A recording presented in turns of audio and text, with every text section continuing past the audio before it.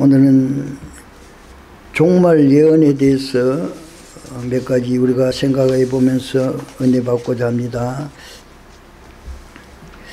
예수께서 대답하게 가르사대 너희가 저녁에 하늘이 붉으면 날이 좋겠다 하고 아침에 하늘이 붉고 흐리면 오늘은 날이 굳겠다 하나니 내가 천지는 분별할 줄 알면서 시대의 표적은 분별할 수 없느냐 사도개인들과 바리새인들이 하늘로 서는 표적이 무엇인지 보여주시기를 청할 때 대답하신 말씀입니다. 곧 요나의 표적이 표적밖에는 내게 보여줄 표적이 없다고 말씀했습니다. 즉 인자가 땅 속에서 사흘 있으리라 하는 말씀을 요나를 상기시키면서 말씀하신 것입니다. 데살로니가전서 5장 4절에서 6절에는 형제들아 너희는 어두움에 있지 아니하며 그날이 도적같이 너에게 임하지 못할지니라. 너희는 다 빛의 아들이요 낮의 아들이라. 우리가 밤이나 낮이나 어두움에 우리는 밤이나 어두움에 속하지 아니하나니 그러므로 우리는 다른 일들 같이 자지 말고 오직 깨어 건신할지라 주의 오심을 사모하여 깨어 기도하는 우리들에게 주님께서는 도적같이 오시지 않고 지혜 있는 다섯 처녀들 같이 주를 영접한다고 말씀하십니다. 주님 오시는 때는 예수님도 천사들도 모르고 아무도 모르지만은 하나님은 깨어 기도하는 사람들은 예수님을 영접할 것이라고 말씀하십니다. 우리는 때는 알 수 없지만은 그 때는 준비하는 자에게 있다는 것입니다. 항상 우리는 깨어 기도하라는 것입니다.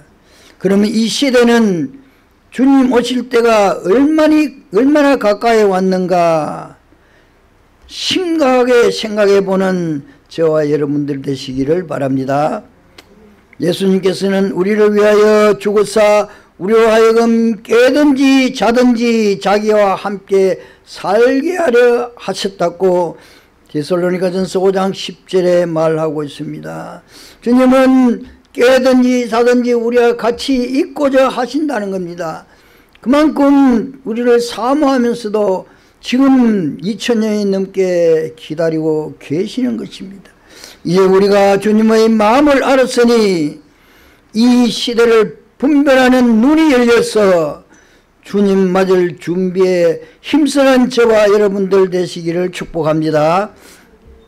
그러면 하나님께서 말씀하시는 종말에 대한 예언을 잠시 살펴보겠습니다. 다니엘서 2장에는 세상 끝에 떠인 돌이 떠인 돌이 나와서 떠인 돌은 바로 복음입니다. 예수 그리스도 복음입니다. 이 떠인 돌이 나와서 너부갓네살이 만들어 놓은 금신상을 깨뜨려 버릴 것이라고 말씀하고 있습니다. 세상의 모든 문명들을 이 떠인 돌이 다 깨뜨려 버린다는 겁니다. 세상의 모든 우상들 종교들을 이 떠인돌이 나와서 다 깨뜨려 버린다는 것입니다. 모든 약한 것 병든 것 귀신 들린 것 다 이 땅에 와서 고치고 깨뜨려 버리시겠다는 것입니다. 그리고 다니엘서 7장에는 대환란 후에 예수님께서 바로 예수님께서 재림하실 때에 모든 교회와 성도들이 휴거될 것을 다니엘서 7장에 말씀하고 있습니다. 그리고 다니엘서 9장에서는 기름 부은 바가 자가 나오고 기름 부음을 받은 자가 끊어진 후에 대환란이 있다고 말씀합니다. 바로 예수님이 이 땅에 오셨고 예수님을 섬기는 모든 성도들 기름 부은 성령의 기름 부은 모든 성도들이 이 땅에서 지금 시대와 같이 점점 점점 사라져가고 끊어진 후에 대환란이 온다는 것입니다. 이제는 어느 시대인지 우리가 알아야 됩니다.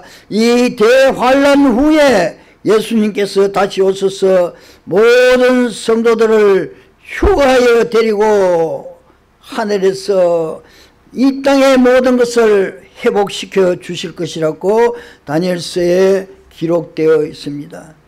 그것이 숫자로 너무나 복잡하기 때문에 사람마다 엇갈린 데가 많은데 그것은 나중에 상세하게 우리가 기록해 볼 수 있습니다. 그리고 마태복음 29장 24장 29절에서 31절에서 그날 환란 후에 적시 해가 어두워지며 달이 빛을 내지 아니하며 별들이 하늘에서 떨어지며 하늘의 군능들이 흔들리리라 그때 인자의 징조가 하늘에서 보이겠고 그때 땅의 모든 족속들이 통곡하며 그들이 인자가 구름을 타고 능력과 큰 영광으로 오는 것을 보리라. 그가 큰 나팔 소리와 함께 천사들을 보내리니 그들이 그 택하신 자들을 하늘 이끌어서 저 끝까지 사방에서 모으리라. 예수님께서 구름을 타고 오실 때 성도들이 휴거되어 하늘에서 주님을 명접하실 것을 이 웅장한 장면을 주님께서 말씀해 주셨습니다. 이와 같이 예수님은 종말에 이 땅을 다시 회복시키기 위하여 주의 자녀들을 데리고 올라가서 이 땅에 완전히 정리한 후에 다시 우리를 이 땅에서 영원토록 왕노를 하게 하실 것이란 우리는 천국 백성이요 천국이 우리 마음속에 있는 것이요 또한 하늘나라에도 있는 것이요 하나님이 계시는 모든 곳은 다 천국인 것입니다. 요한계시록에서도 세 번째로 요한계시록에서도 사도 요한은 밤모섬에 유배되어서 거기서 하나님으로부터 환상과 계시를 받아 기록하였습니다. 요한계시록 1장에 우리가 잘 아는 말씀이 있습니다.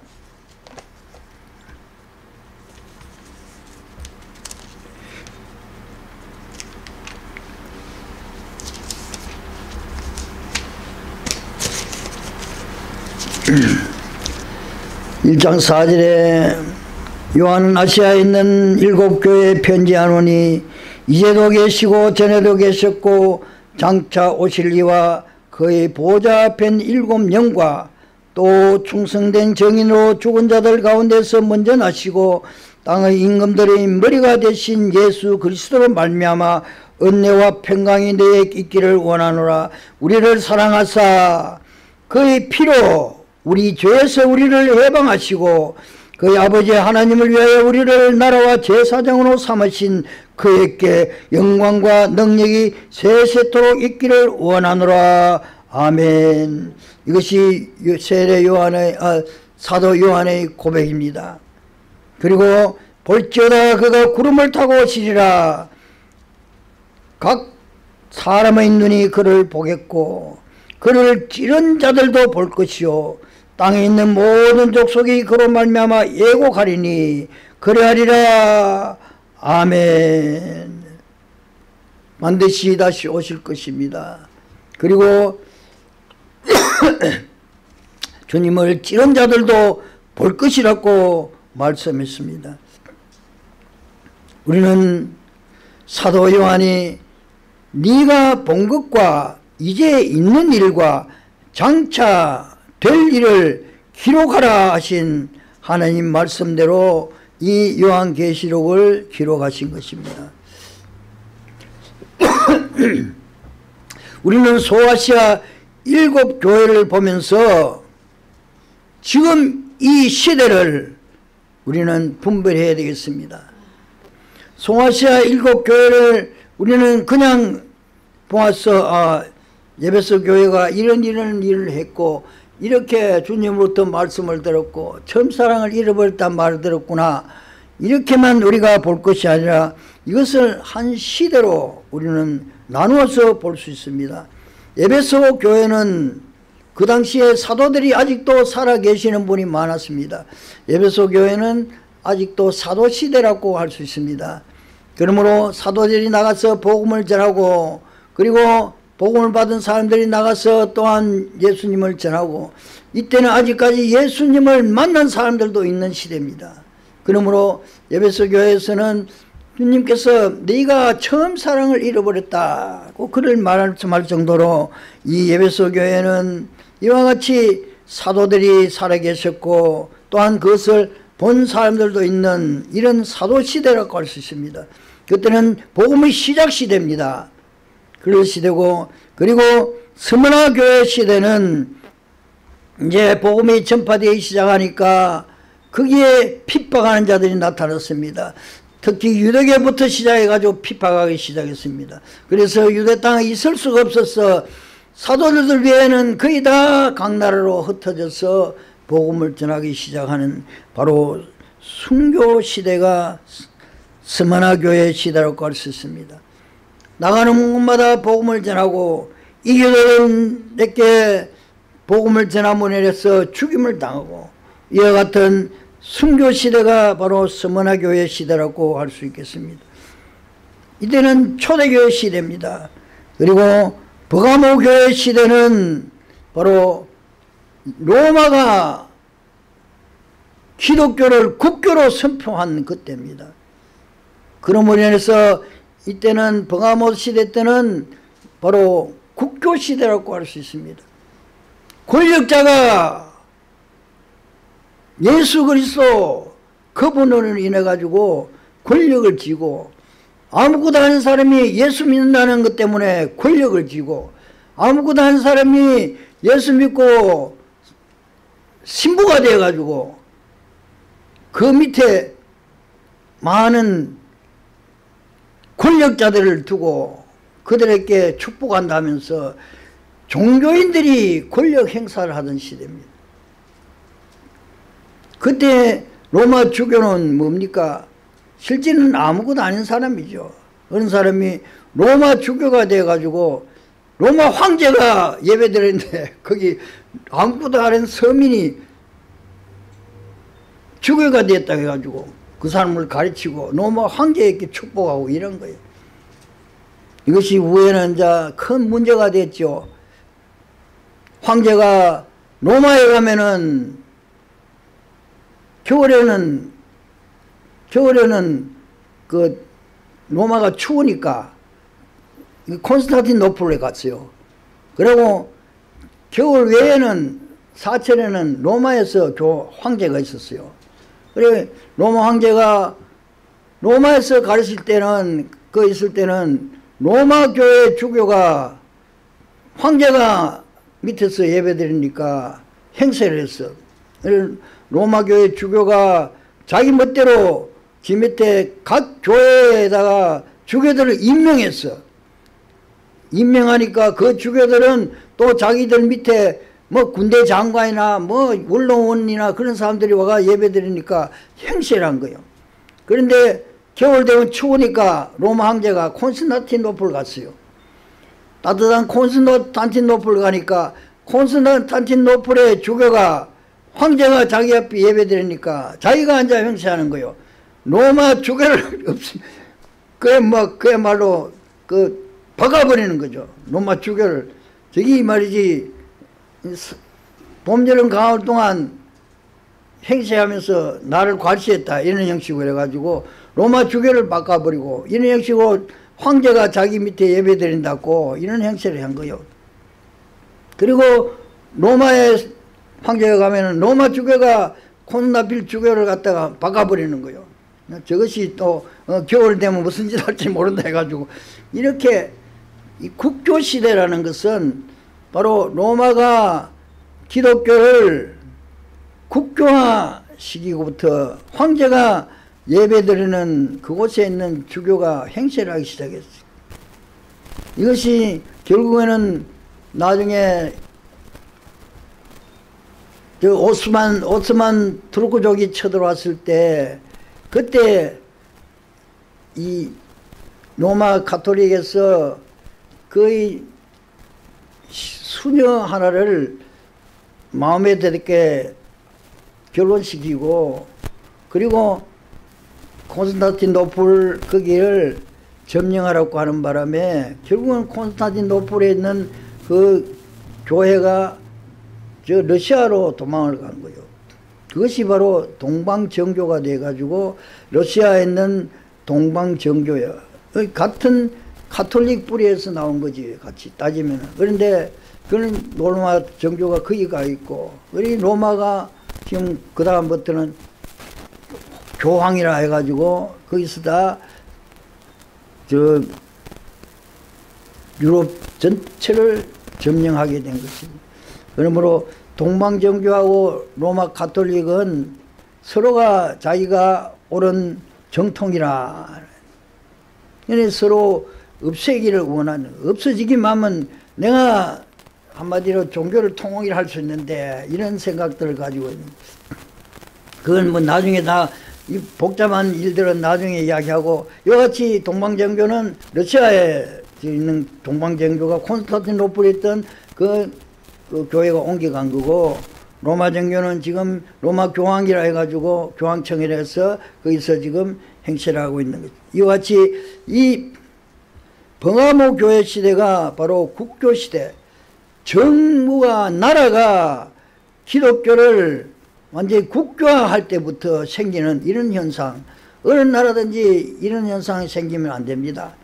그러다면 종교 지도자가 아예 권력을 행사하게 되니까 이것은 정말로 암흑시대가 되는 것입니다. 그러므로 그 다음에 두아데라 교회 시대는 바로 암흑시대라고 할 수 있습니다. 이 암흑시대, 중세 암흑시대라고 들어봤죠.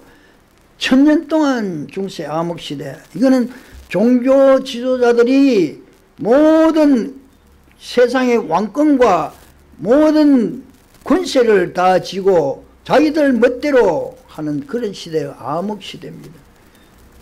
그 시대는 성경을 읽는 사람들도 자기들 밑에 있는 그런 주교들만 읽지 성경이 보급이 되지 않아서 그 사람들 가르치는 말 그대로 믿어야 되고 그대로 들어야 되는 거예요.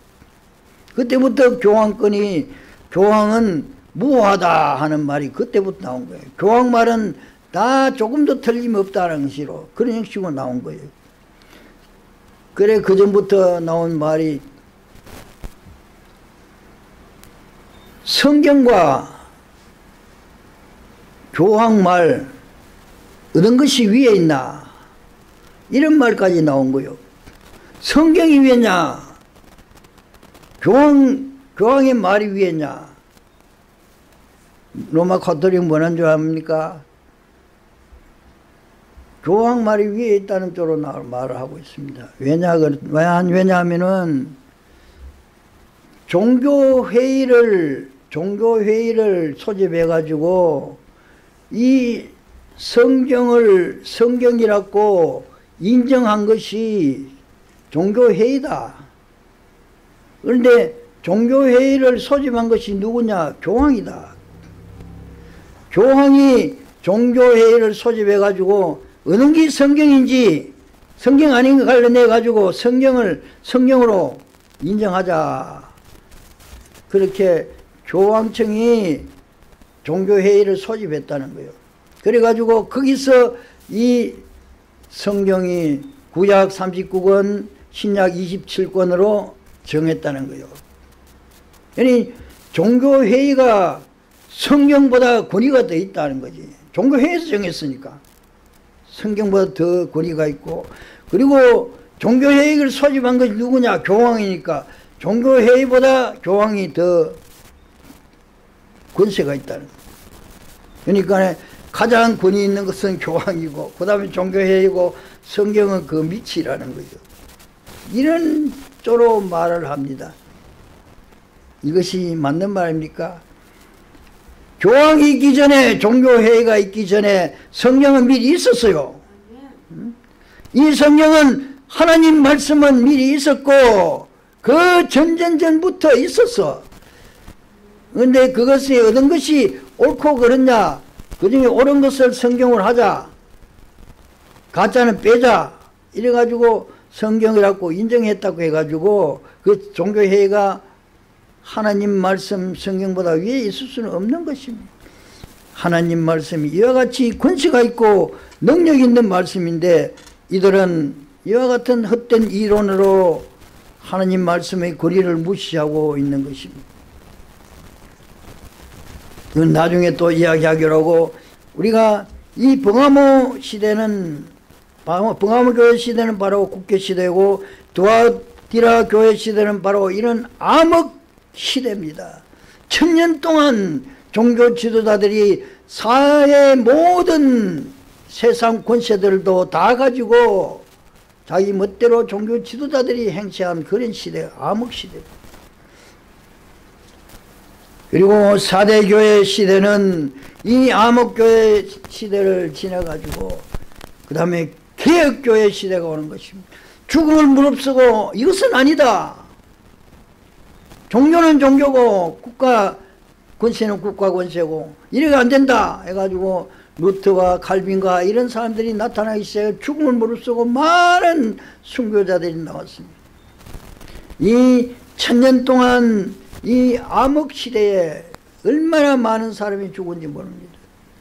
스페인 한 나라에서만 근천만 명이라고 이렇게 말하는 정도니까 얼마나 많은 사람들이 죽었어.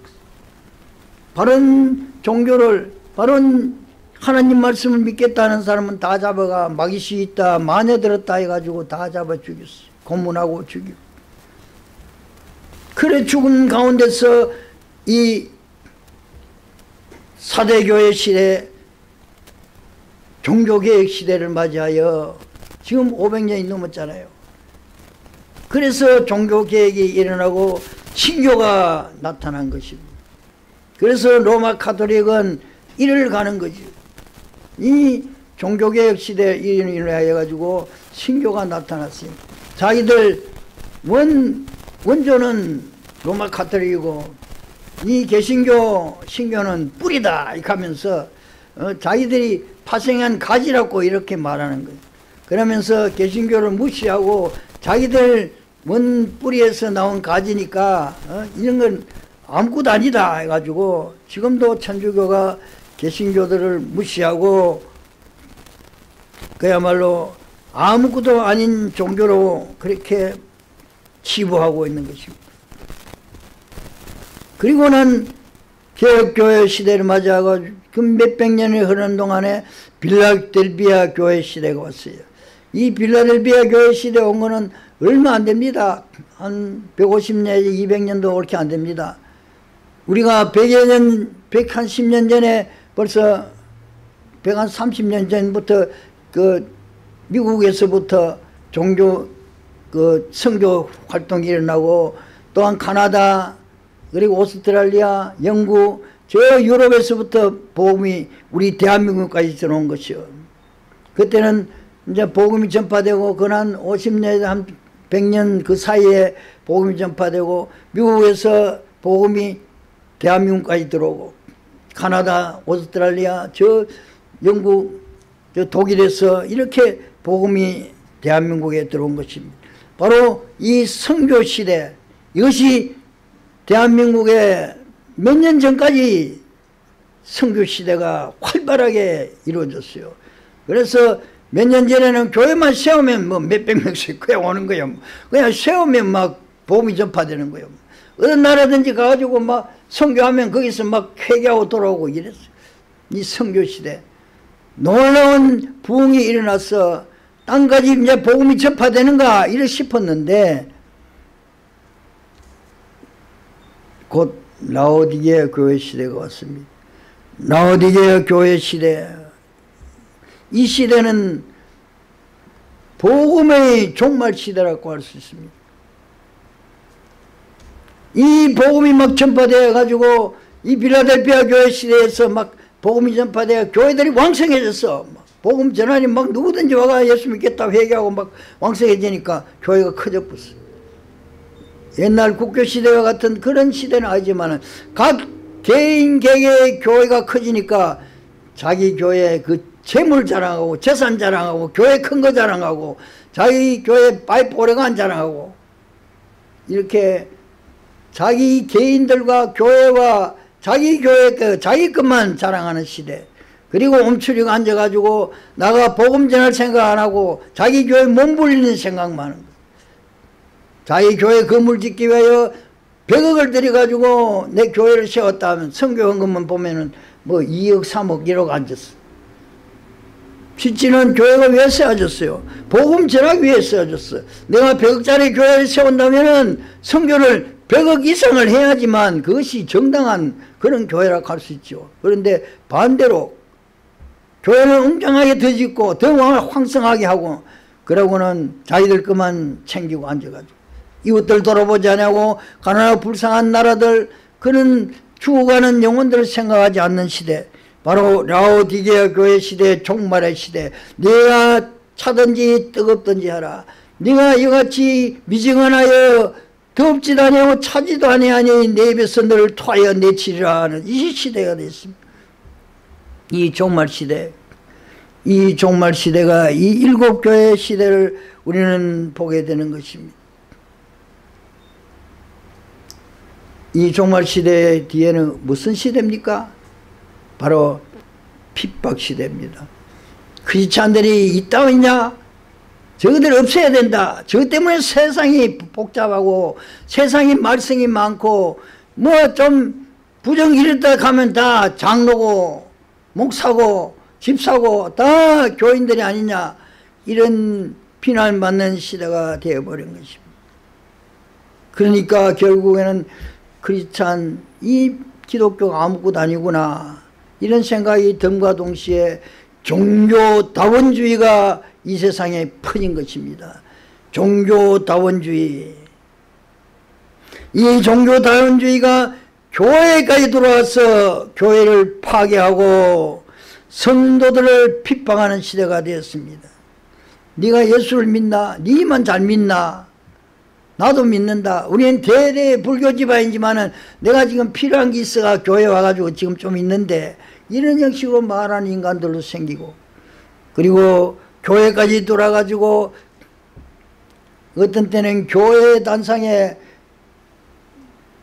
불교 선영을 불러놓고 설교를 시켰어요.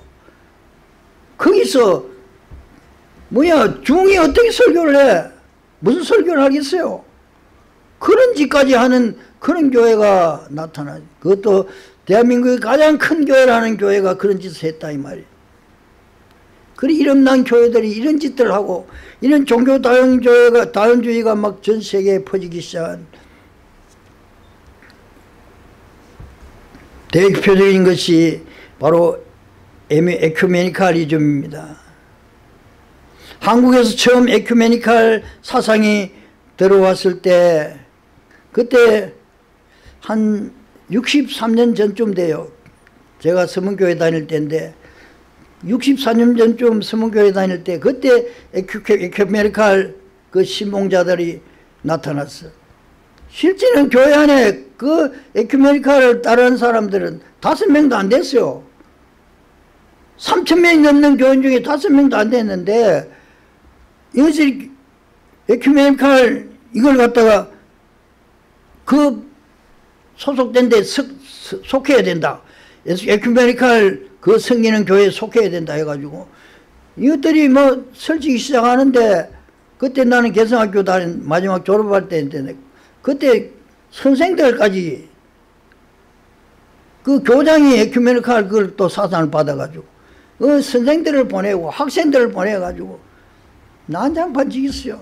교회 안에서 그 할머니들을 개성학교 그 무교부들이 와가지고 할머니들 그냥 교회 안에서 매치기 이런 짓까지 했다고 이것들이 교회 뺏으려고.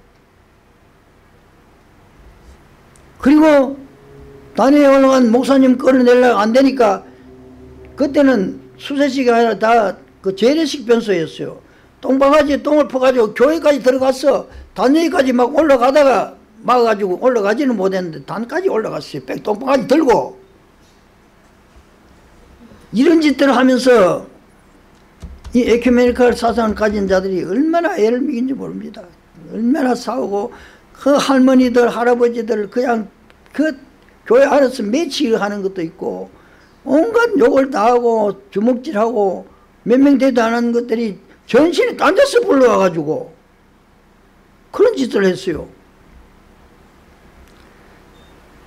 얼마나 못된 짓을 했는지 모릅니다. 이 종교다원주의라는 것은 무슨 말인가 하면은 모든 종교에는 구원이 있다 이 말입니다. 유교에도 구원이 있고 마음에도 구원이 있고 불교에도 구원이 있고 무슬람에도 구원이 있고 저뭐 몰몬교에도 구원이 있고 뭐 미신 무속하는 사람들도 귀신 생긴 사람도 구원이 있고 모든 종교에는 다 빌고 빌고 이러면은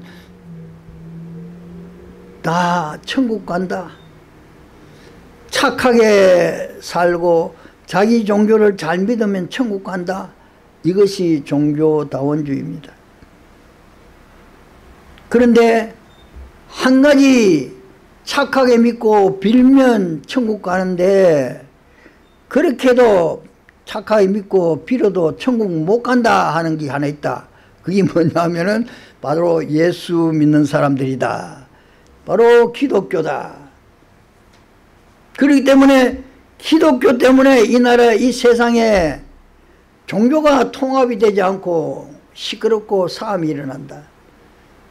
그러니까 이 땅에서 기독교만 없어지면은 이 세상에는 모든 각자가 지 믿는 종교 믿고 다 각자 천국 가면 되는 거지. 기독교 때문에 안 되니까 기독교만 없애자.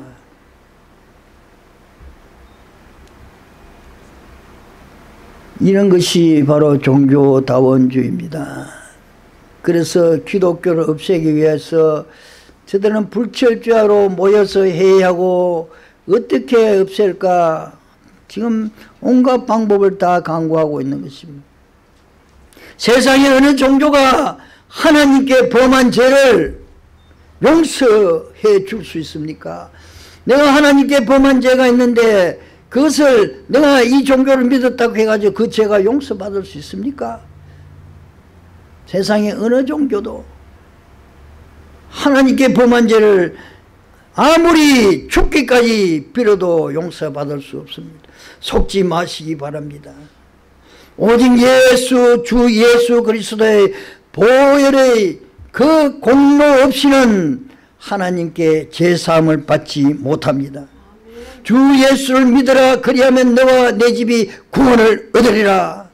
하나님은 말씀합니다. 예수 그리스도의 대속의 보혈의 공로 없이는 우리는 하나님 앞에 죄 용서받지 못합니다.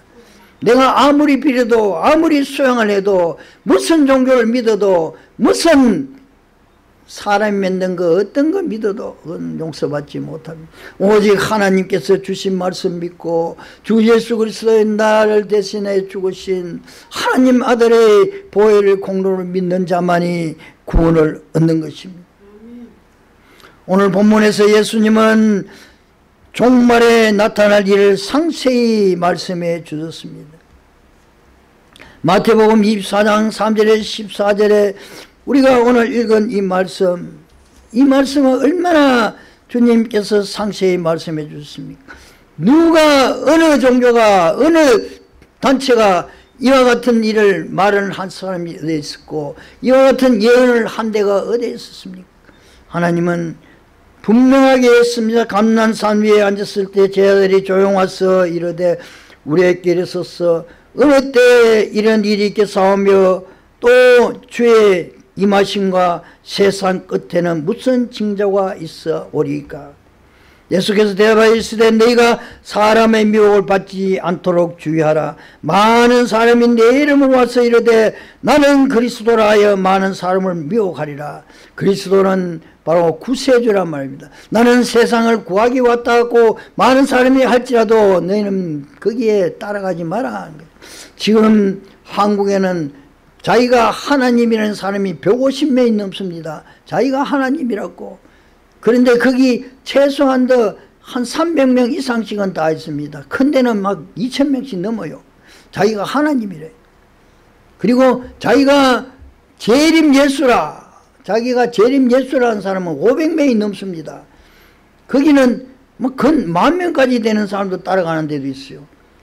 지가 재림 예수래요. 나는 하늘에서 재림한 예수다는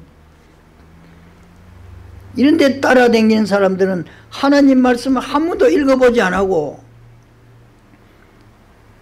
사람 말만 듣고 믿는 사람들입니다. 하나님 말씀 안 읽어봤으니까 사람 말 듣고 믿는 거죠. 저도 전에도 말씀했지만 어느 장로님이 내가 물었어요. 어느 장로님에게 장로님 하나님 말씀 성경을 몇 번 읽어보셨습니까? 나는 수도 없이 읽어 참 만번 읽었을 거 하더라고. 아 그랬어요. 참 훌륭하십니다. 다음 나오시는 말씀이 뭔가 알아요. 내가 25세 장로 돼가지고 지금 근 75세가 넘었는데 그동안에 들은 설교가 얼마나 되겠어? 수만 번은 들었어. 설교를 수만 번 들었어. 그래 내가 성경 한 만 번 읽은 정도 안 되겠어? 이런 말 하는 거예요. 그래, 그럼 성경을 한 번이라도 정도가 읽어보셨나 하니까 한만 번 읽은 거 될걸? 그 말만 하는 거요. 참, 그 사람이 무슨 성경 읽은 겁니까? 그것이. 어떤 사람이 살아 계실 때는 부모님, 아버지 한 번도 안 만났어. 막 젊을 때 막 돈 안 준다고 해가 뛰나가버렸어. 그러고는 아버지는 안 만나고. 그러고 이제 그 집에 있는 하인들을 통해서 이제 소식만 들었어. 아버지 지금 어떠냐. 그래, 아버님 지금 당신 찾고 있단 말이야. 어? 떻게 하면 좋다고, 뭐, 들어오라 하고, 뭐, 이러더라고. 그래, 아버님이 이런 부탁도 하고, 어, 네가 좀 어떻게 하라고, 그래 하더라. 말만 들었어. 그 사람은 아버지 말을 직접 들은 일 한 번도 없어요. 그러면서 나는 아버지 말씀을 다 알고 있다.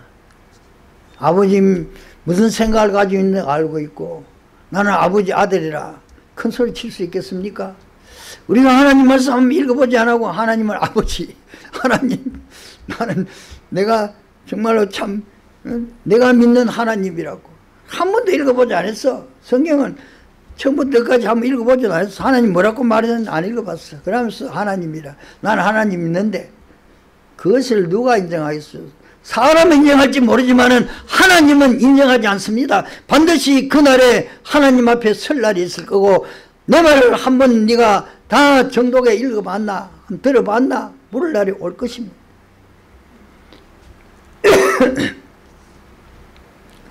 많은 사람이 나는 그리스도라여 많은 사람을 미워하리라. 난리와 난리 소문을 듣겠으나 너는 상과 두려워하지 말라. 이런 일이 있어야 돼. 아직 끝은 아니니라. 난리와 난리 소문이 얼마나 말리 들 지금도 우크라이나 전쟁이 일어났죠. 세상에 전쟁 없는 애가 없습니다. 어떤 전쟁 없는 나라가 참 드뭅니다. 이 난리 난리 소문이 있고 지금 곧 세계 3차 전쟁이 일어날 것 같은 우크라이나 전쟁, 러시아 전쟁 이런 난리 소문이 있어. 그러나 아직 끝은 아니라 했습니다. 3차 대전이 일어나고 끝날 것 같은데 끝은 아니라기 때문에 나는 안심합니다. 우크라이나 러시아 전쟁이 더 붙어도 끝은 아직 아닙니다. 민족이 민족을 나라가 나라를 대제가 일어나 있고 곳곳에 기정 기경 기근과 지진이 있으리라 우리 민족, 우리 민족이 얼마나 싸웠습니까? 지금도 싸우고 있습니다. 나라가 나라를 대적합니다. 중공과 인도가 싸우고 있고 파키스탄과 인도가 싸우고 있고 각 나라 안 싸우는 나라 거의 없습니다. 국경 분쟁 해가지고 맨날 싸우고 있습니다. 그래 대적하여 나라와 나라를 대적하 일어나고 민족 민족을 싸우고 그리고 곳곳에 기근과 지진이 있으리니 지금같이 많이 굶어 죽는 시대가 없습니다.